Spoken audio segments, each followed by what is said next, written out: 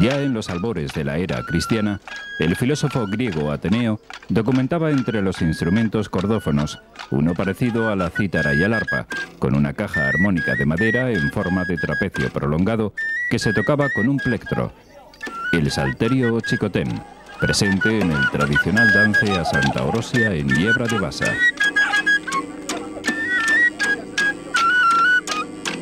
Con algunos luthiers del taller zaragozano de la Charamella, vamos a conocer el proceso de elaboración de este curioso instrumento, réplica del chicotén de Yebra.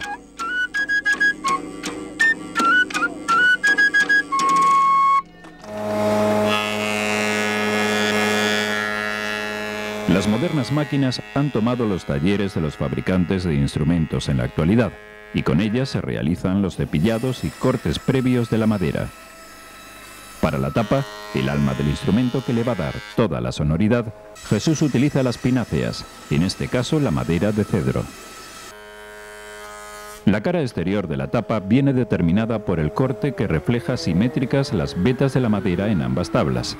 Además de embellecer la estética, esta disposición distribuirá uniformemente el sonido de adentro a afuera de la caja. El acoplamiento de las tablas debe ser perfecto, de modo que entre la unión de ambas no atraviese ningún rescoldo de luz. Así dispuestas, las maderas están listas para encolarlas. Para los costados de la caja del chicotén, Jesús utiliza madera de nogal. Con unas plantillas dibuja la silueta de los lados que recorta en la sierra de cinta.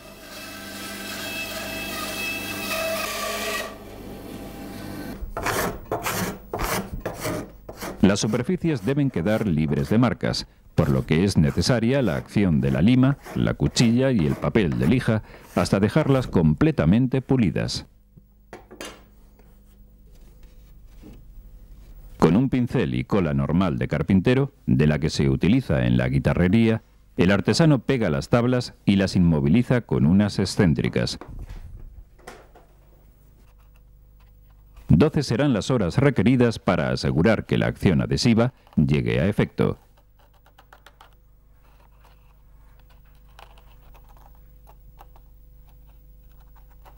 Jesús ha recortado la tapa con la forma del chicotén y sirviéndose del gramil, marca el agujero de la boca y su entorno, donde colocará unos ribetes de refuerzo.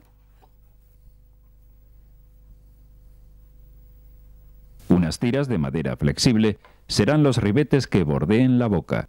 Para su incrustación, el artesano se entrega a la minuciosa tarea de rebajar las marcas del gramil con un pequeño cincel. El fondo del instrumento ha recibido el mismo proceso que la tapa. Al no tener boca, este fondo lleva pegados con cola unos refuerzos de pino que evitan que se despeguen las maderas, unos listones del mismo material colocados transversalmente a las vetas. Jesús dispone el fondo con sus correspondientes refuerzos encolados en el ballestero. Es este un curioso dispositivo, en el que por medio de ballestas de madera flexible como el fresno o el haya, los listones soportan durante 12 horas la presión justa para encolar las piezas y poderlas rectificar si se desplazaran de su sitio.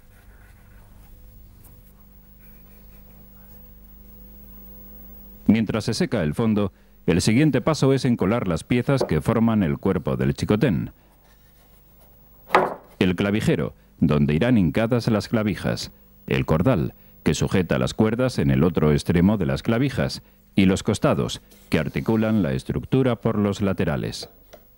Un entramado transversal de gatos de hierro es la forma de asegurar la estructura del cuerpo sujeto entre las planchas y los tornillos. Otro gato de mayor tamaño dispuesto del clavijero al cordal, inmoviliza longitudinalmente todo el trabajo. Bueno, ya hemos dejado secar la cola y ahora vamos a quitar los gatos a ver si se nos han colado bien.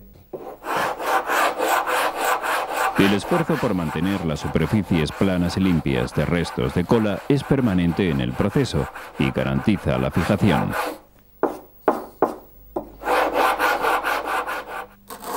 Jesús retira las ballestas una vez seca la cola y trabaja el acabado de las barras. Para disminuir su peso y aligerar el del instrumento, perfila con cepillo y cincel una forma trapecial en cada uno de los refuerzos. Los extremos de las barras son los puntos de contacto con el cuerpo del chicotén. El encaje lo facilitará un rebaje con el cincel en las puntas de los refuerzos.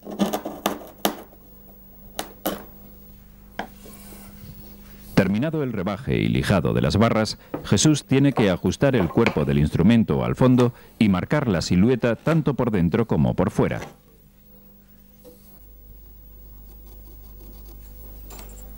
Es este un trabajo de precisión, en el que las medidas y los cortes asignados al fondo deben corresponderse simétricamente en el cuerpo del chicotén. En el lugar dispuesto para las barras, Jesús cincela minuciosamente unas cajas donde ensamblarán los refuerzos. Una vez hechas las cajas para las barras, es necesario comprobar que el fondo encaja. Pues sí. Ahora marcaremos el contorno para cortar el fondo y a pegarlo. El propio cuerpo del chicotén es la plantilla que Jesús repasa para definir la silueta del fondo y recortarla en la sierra de cinta.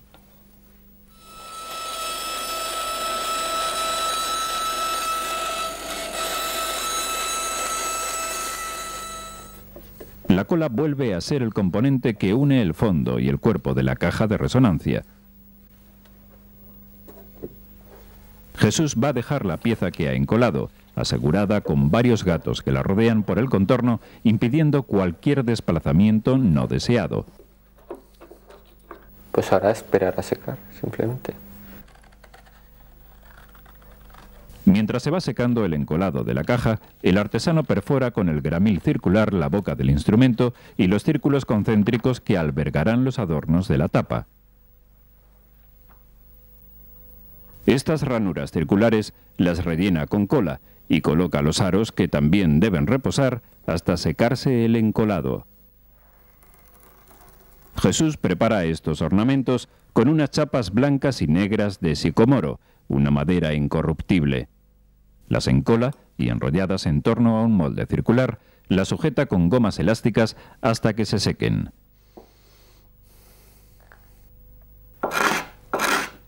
El fondo del instrumento ya está fijado. Solo resta rebajarlo al ras del costado con la cuchilla de ebanista y la lija.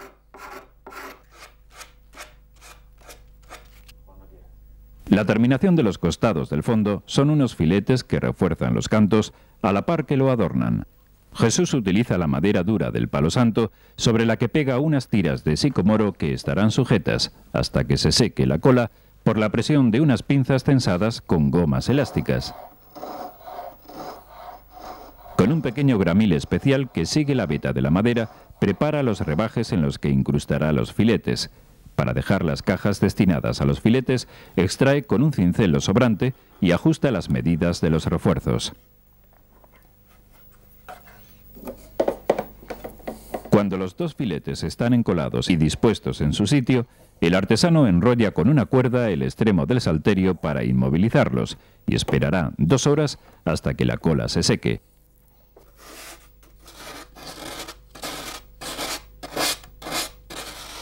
La boca del chicotén es su parte más llamativa y la que recibe los más cuidados detalles de ornamentación.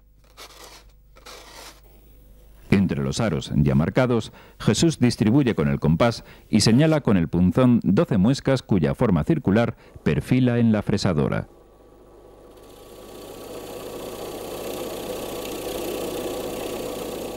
Este lugar lo ocupan los botones, unos adornos de palo santo que contrastan el colorido de la tapa y que siguen el mismo proceso de encolado y secado. Al igual que en el fondo, Jesús ha colocado unas barras de refuerzo en la tapa para proteger el adorno de la boca. Ahora vamos a intentar ajustar la tapa al cuerpo y ya lo encolaremos y lo dejaremos cerrado.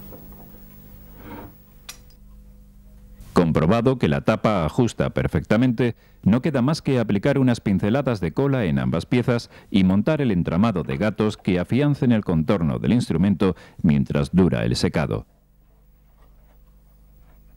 Entre tanto, Jesús prepara el tallado de media luna y los puentes del chicotén, donde se prenden y aseguran las cuerdas. La tapa del instrumento recibe el mismo trato que el fondo. Matar el canto con la cuchilla y la lija. Marcar con el gramil la caja del filete de palo santo. Encolarlo y enrollar firmemente el extremo con la cuerda. Úrsula se va a encargar de barnizar el chicotén después de pulimentarlo definitivamente. Una lija fina y esponjillas de diferentes grados terminarán con las capas sobrantes y redondearán los cantos para que no queden aristas vivas en los laterales.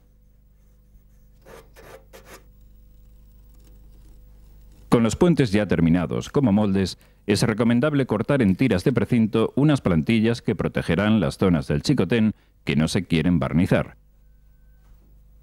Voy a sellar las bocas para que no, para que no caiga barniz dentro.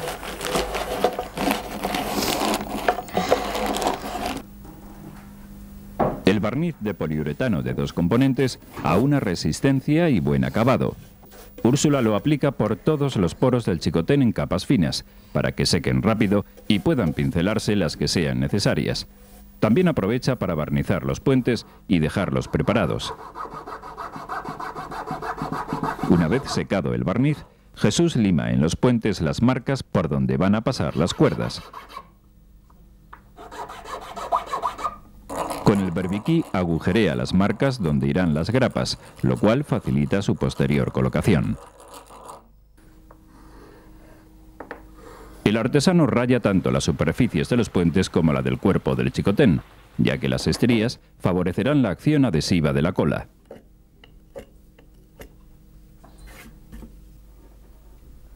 Ballestero vuelve a utilizarse en esta fase, que demanda una determinada tensión en las ballestas. Las piezas permanecerán así un mínimo de 12 horas. Jesús moldea en el torno las clavijas, los cordales y el resto de piezas que completarán el chicotén. Las clavijas, destinadas a tensar las cuerdas, las rebaja con la escofina hasta conseguir una forma plana manejable que decora con una muesca en el centro. La colocación de estas piezas en la caja del chicotén es el último trabajo de ebanistería. El artesano incrusta las grapas destinadas a caracterizar el sonido del instrumento cuando vibren las cuerdas. En el extremo inferior, Jesús encaja los cordales, cuya misión radica en sujetar las cuerdas tensadas. Los agujeros del clavijero tienen que ser cónicos para regular la entrada de las clavijas. Es por esto que el artesano tiene que escariarlos con un taladro de barrena especial.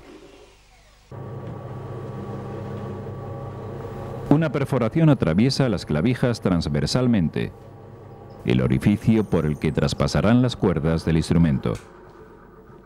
Del cordal al clavijero, atravesando las grapas, este chicotén lleva seis cuerdas que se distribuyen, por el grosor y el afinado musical, en dos grupos de tres. El afinado de las cuerdas abarca dos únicas notas, el la dominante del chiflo en las gruesas y la quinta superior en las finas.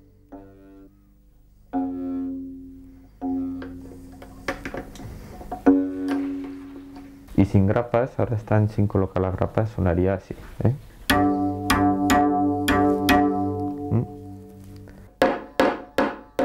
Jesús martillea las grapas hasta dejarlas a una distancia mínima, para que cuando vibren las cuerdas, las rocen sin llegar a aprisionarlas y así no variar la longitud de la vibración.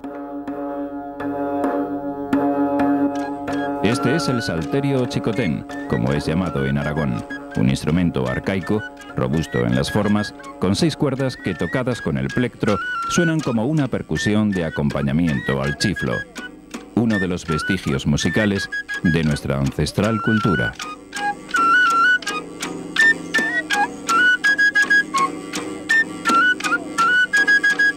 Soy Eugenio Monesma, director y productor del documental que acabas de ver. Si te ha gustado, te animo a que te suscribas activando las notificaciones desde la campanita y así podrás disfrutar de los cientos de documentales que ya tengo en el canal y de los que semanalmente voy a ir subiendo.